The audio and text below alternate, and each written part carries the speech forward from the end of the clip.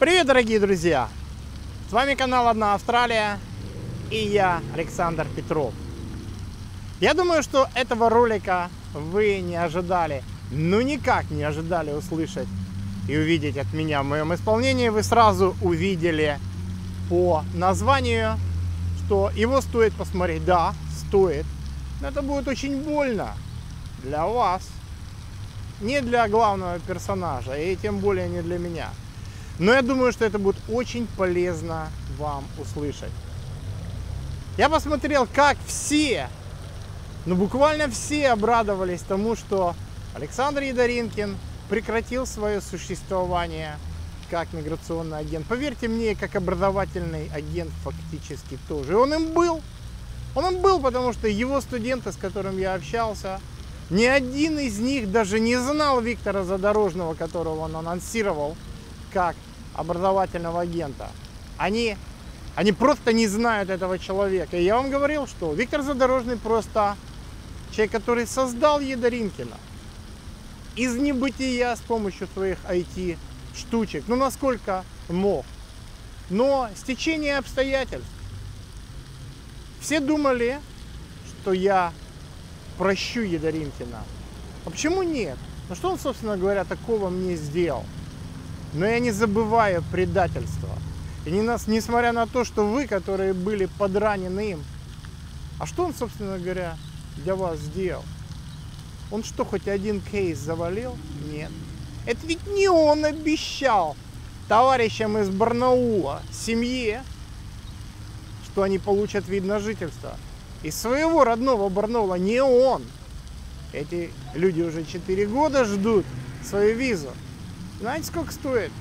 12-15 тысяч обойдется так называемая независимая иммиграция или спонсорство штата для этих людей.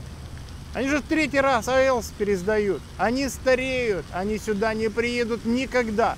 И это не Александр Сергеевич Едоринкин их обманул. Он таким образом и на такие суммы не обманул, знаете, никого из вас. А те люди, которых вы смотрите, миграционных агентов некоторые, которые красуются, вот они как раз и губят людей. Десятки тысяч долларов. А вас сколько? Да вас десятки и десятки. Это счет идет на миллионы долларов, которые вытащили из вашего кармана. Вы об этом подумали? Да, и Даринкин поступил подло со мной. Это предатель. А вам-то что он сделал? Вы боретесь за, справедливую, за справедливость. Ну ладно, хорошо. А там человек, который страдает в Барнауле, и таких десятки, а может быть и сотни. Вы о них подумали? Едоринкин врал. Он врал и про АЭЛС, он врал и про свои какие-то достижения.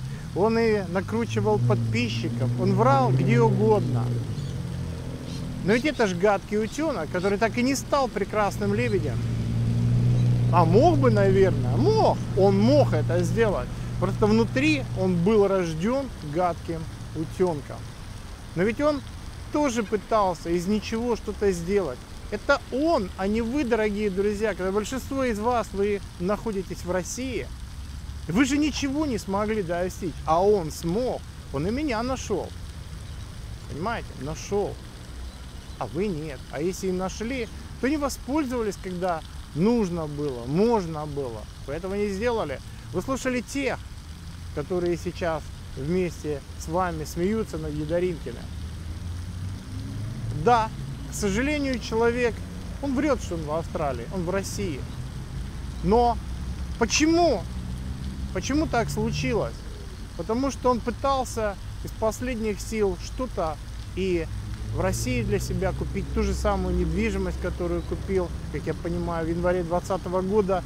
И по глупости и незнанию, в общем-то, выставил благодарность, а, точнее его агент без его разрешения выставил эту благодарность в интернете. И теперь все знают, что в тот момент, когда он говорил, что находится а, в Австралии, он находился в России. Ну что человеку делать? Чтобы подтвердить квалификацию, надо приехать сюда, заплатить очень много денег за самолет. Это не так просто. Это не просто купил. Надо еще каким-то образом до той Москвы доехать, а потом оттуда до Дохи, если получится. А там еще через Мельбурн. А еще две недели в неизвестном Мельбурне сидеть на карантине. На возобновление лицензии уйдут 10 тысяч долларов. А их у Александра, наверное, попросту и нет. А где жить? Ни жилья, ни машины, ничего нет. Понты, конечно, понтами.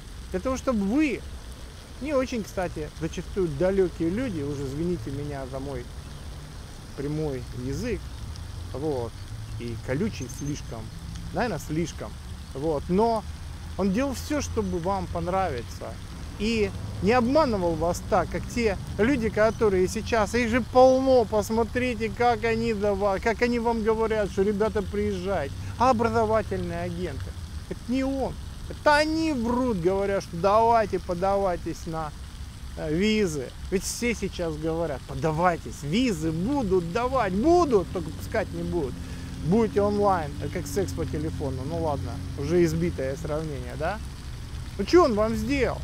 То, что он вас 260 долларов, там 300 с чем-то долларов брал за консультацию. А что, он врал в этих консультациях? Нет. Он просто говорил прописные истины, которые а, есть в интернете. А вы что платили? Вам что, обещали золотые горы? Нет, с вас взяли деньги и врали меньше, чем многие другие миграционные агенты. Что он вам сделал? Он мне, да, сделал. Вот Герасимову Вадиму, он тоже сделал. Во-первых, он достаточно неплохо смотрелся на камере. И это э, в своем смысле это, наверное, какой-то конкурент. И на липовых подписчиков стали наклеиваться и настоящие. Если бы себя вел Александр достойно и правильно, а не врал на каждом шагу, в том числе и вот эти вот картинки. Ну что ты врешь, говоря, что ты сейчас снимаешь нашей зимой свои видео, когда там дым от пожара у Сиднейского моста. Ноябрьские, декабрьские съемки. Люди же не дураки, они все понимают. А если не понимают, найдутся люди, которые подскажут вам, да? Но человек, собственно говоря, ничего особенного не сделал, но Вадиму, да, он как знаете, мальчишка повис у него на заднем бампере и, ну, некрасиво, да, использовал Тедди. В этом и был их конфликт. Не, не хорошо, не хорошо. А вам-то что от этого? И вы повелись. Вы сами-то, дорогие друзья, безгрешны. Вы точно так же грешны. И на месте Едаринкина окажутся десятки из вас. И многие из вас также будут предавать, потому что у него был, кстати, уже запрещенный фильм, да, и книга «Комплекс Скарлетт О'Хары вынесенных ветром». Я голодал, я бедствовал, я никогда так жить не буду, я убью, я украду, я оболгу, но я никогда не буду больше жить в нищете. Это комплекс Скарлетт О'Хара и вы оказались бы на его месте, к сожалению, большинство из вас точно так же себя повело. Что, один Едаринкин? Да у меня как минимум еще три студента меня копируют. И образовательные агенты, иммиграционные. Ну хотя бы один из них, тот же самый Витя Задорожный. Не любят меня, не любят меня за прямоту, за мой язык не любят и Герасимова, у него тоже есть свои минусы, по крайней мере, с их точки зрения. И поэтому они так себя ведут. А еще потому, что вы все выходцы из тех несчастных, проклятых поколений нашей страны. Вам не давали культуры, вам не давали а, правильного понимания жизни. У вас нет идеалов. Христианство никогда и прочие религии никогда не были идеалом ни у одного народа России. Вообще, в принципе. И комплекс этот ненавистника кодекса строителя коммунизма у вас тоже присутствует. Ни коммунисты вы, ни монархисты, ни а, православные и прочие религиозные люди, вам этого не, приви- не прививали, поэтому что вам привили? Вот колесо фортуны или как там, поле чудес, да, крути рулетку и ста- станешь миллионером. Вот и все, на чем вас воспитывали. И Едаринкина так воспитывали. И семья у него была, между прочим, не полная. Не было полной чаши в доме. И маме приходилось работать, ну, скажем так, очень много, чтобы поднимать ребят. Естественно, у человека... На чем он учился? На книжках Карнеги. Так там же Билла Гейтса, Стива Джобса. Так там же голимый бизнес. Там души нет. Если бы человек в действительности на каких-то высоких моралях воспитывался, на классных книгах и в хорошем обществе, где человеческие отношения, а не волчьи, как в России нулевых и десятых годов, так может быть был бы и вполне приличный человек. Но вам-то за что не любите Даринкина? Я хотел бы закрыть эту тему, потому что такие люди должны быть наказаны с моей точки зрения. И они будут наказаны вне зависимости от того, хорошо они мне, а, ко мне сейчас относятся или приносят они мне пользу или нет. Это вы меряете все пользой, а я меряю другими какими-то показателями.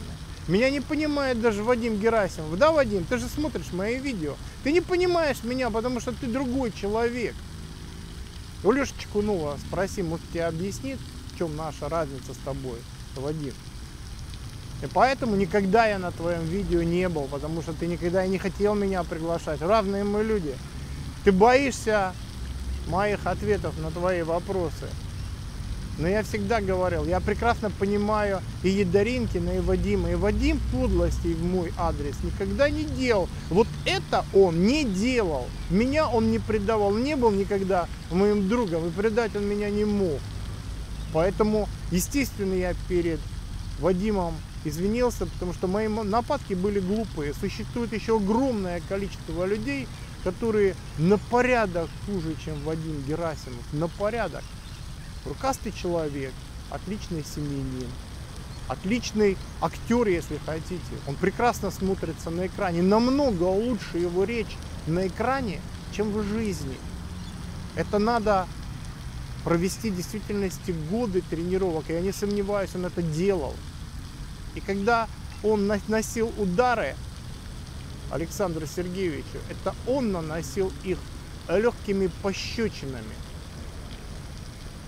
А вы нет. И более того, вы в драку-то не лезли. Где те огромные толпы людей, которые обвиняли бы и имели бы для этого основания, обвиняли бы Едаринкина? Нет. У меня это не практиковалось, потому что мы те люди, которые близко его знаем, и мы все прекрасно понимали. А у Вадима, у Вадима тоже ничего такого не было. Не было никаких, а у него, в общем-то, и нет и против других людей. Все очень хорошо, все очень гладко, все очень нормально. Значит, вас все удовлетворяло, а что вы тогда так сильно радуетесь? Знаете, дорогие друзья, хотите исправиться? Посмотрите вокруг, посмотрите на тех миграционных агентов, которые в действительности достойны не пощечин, а просто скулодробительных ударов. И действуйте. Действуйте, потому что эти люди обманывают. Вы знаете, обманывают таких же, как и вы, на миллионы долларов. Не каждого, но в купе. У них нету совести. Они врут, и врут это не от отчаяния. В отличие от Ядринкина, у которого ничего нет, ни недвижимости, ни транспорта, ничего, кроме этого несчастного паспорта, который тоже, кстати, могут и отнять. У этих людей есть все. Они как-то акула, уже вспорото брюхо они продолжают жрать. Потому что они иначе не могут. Зачем? Зачем брать людям, когда у тебя уже все есть?